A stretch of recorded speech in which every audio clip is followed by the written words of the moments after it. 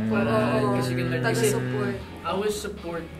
Uh, actually, I'm really happy being support kasi mas mas konti yung pressure, mas maraming kang oras at yeah. time para, uh, sorry, oras and opportunity to observe the that veteran actor. Kasi sa first love, um, yeah, Aga tsaka Bea. Opo, as in, all I did was, uh, like, script reading pa lang, I was like, I was like, uh, thinking about, oh, ganun pala yun. That's how you uh, collaborate with the director. So, um, just to be with a, a veteran director, veteran actors, the dream Yeah. role that I want. Um, sa akin naman po, ah mahilig kasi ako dun. Kasi sa acting ko marami akong weakness.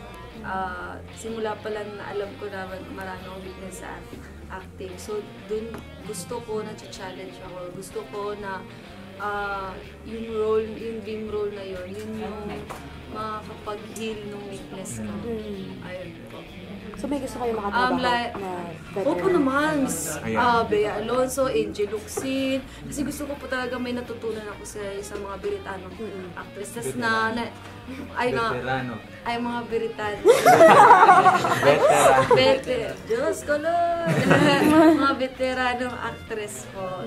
Like sila Miss Angel Luxin, Miss Bea Alonso, tapos sila Sir Ding Dong, Sir Richard Gutierrez. Kasi talagang gusto ko na may natutunan ako sa kanila.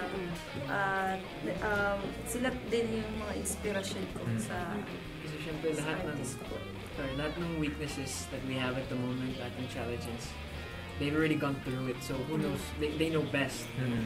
Um, para sa akin, uh, si Kuya Arjo din, uh, out of love to be Arjo. in a um, movie again with Sir Aga. Kasi, um, I've learned so much for him in my role in First Love and uh, sana mas challenging yung role so I can learn more.